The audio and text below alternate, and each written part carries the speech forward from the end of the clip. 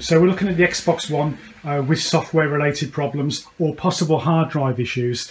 Um, there are several symptoms to look out for which we've already discussed on the page, uh, but the console's on, we've got a blank screen. The screen could be blue, it could be green, uh, it could be just a blank black screen depending on your, uh, your monitor setup.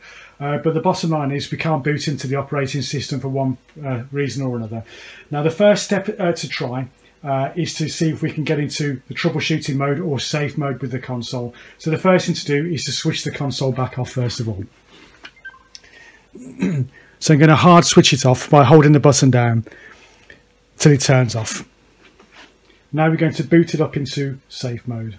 So to boot your console up into safe mode, whether you've got the Xbox One original or the S or the X, doesn't matter which model it is, the principle's still the same. What we need to be doing, we need to be pressing three buttons at the same time, okay? So we want the eject switch, we want the bind switch, and we want the on-off button as well.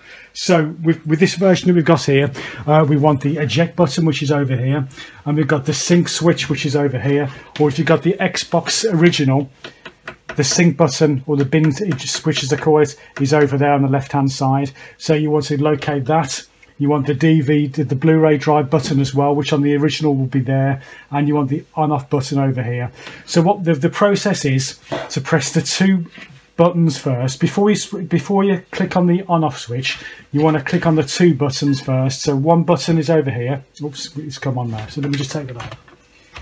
So we want the eject button, the sync button, holding those down first of all and once those are held down then we press once on the on off button. So I've got those two held down and then once on the on off button there you hear the click and you hold the other two buttons down and you keep holding them down until you hear the beep again.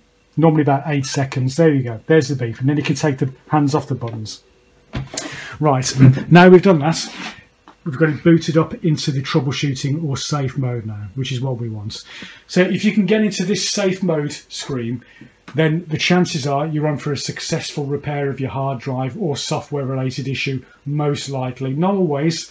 If the hard drive has got uh, uh, mechanical problems, um, then you may not be able to resolve the, the issue. You, then you might have to swap the hard drive out for a new one. See my uh, hard drive replacement page if that's the case. But once we got to this screen here, uh, we can now go ahead and put the USB stick in with the offline uh, update file on, which we put from the computer onto the stick. Uh, we can now go ahead and install this. So we've got our USB stick, now it's time to put it into the console. So USB port at the front, put the USB stick in, making sure it's the right way around. Okay, once we put the USB stick in, on the screen you should notice the offline system update, which was blanked out a minute ago, now is white. If you put the USB stick in, and this is still blanked out and no and not white like it is there, it means there's a problem with either the USB stick, the formatting of the stick, or the file hasn't gone onto the stick for some reason, so you need to start again. Uh, and if that's the case, start right from the start, format the stick again, go to the website, download the OSU1 file, put it onto the stick, and then try again. Okay. Now, um, so we want to do an update uh, from the stick. What we want to do is we want to select the offline system updates by moving the, the, uh, the cursor, moving the controller across to offline system update first of all. So we move the cursor over to offline system updates and then we press on that and it's now going to prepare the console ready for uploading the OSU1 software update onto the console. So hopefully this should resolve your, uh, your uh, software problems um, it can be used in a wide range of circumstances as we've already discussed. Uh, so give that a go. If that fails, then you need to troubleshoot some more.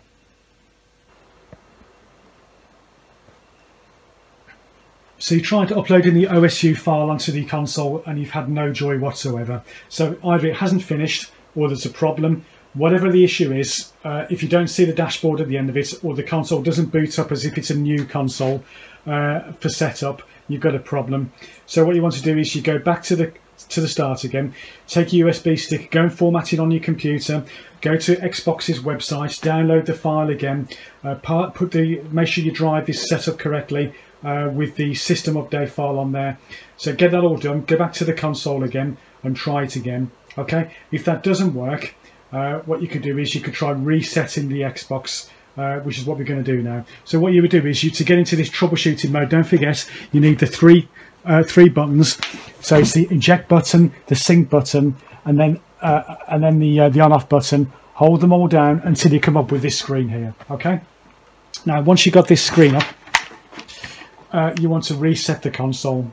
This will scrub everything back to, uh, to factory settings, but the thing to think is you're struggling with your hard drive. So this is, you know, it, yes, it's drastic, but you might have to do it. So select reset this Xbox, and what it will do, it will take you through, uh, scrub your hard drive, and you'll be back to how it was when you first bought the console and you set it up again. Yes, you'll lose your info, but it's the next thing to do.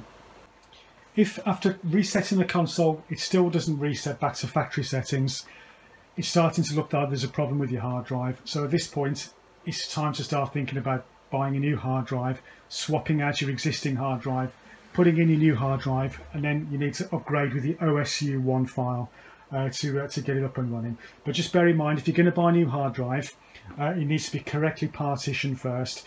Uh, so you need to look at one of our uh, guides to do that, or you can buy one of the drives uh, fully partitioned from our website, uh, and then you just need to upload the OSU1 file, which will be provided with the drive when we send it out to you.